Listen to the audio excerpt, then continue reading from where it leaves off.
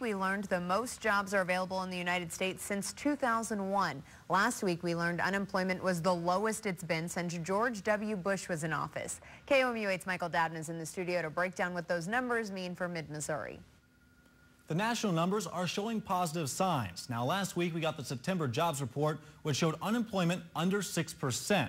Now, this is a big deal because it's the first time it's been under 6% since 2008. As we can see by the chart on that graph right there, that shows a pattern of unemployment dropping over the last couple of years.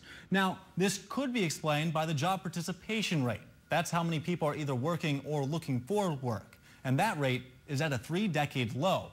Now, yesterday, we got yet another new report from the Department of Labor Statistics. It showed that there are nearly four and a half million job openings in the U.S. Now, this number is the number that economists look at to see labor demand, and that 4 million is much better than anything that we've seen. As you can see, all these charts from August is that number that I've just highlighted. It's much better than anything that we've seen so far.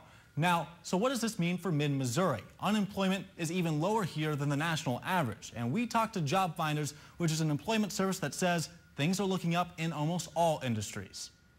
I think actually, at least Central Missouri seems to be uh, doing pretty well for recovery itself.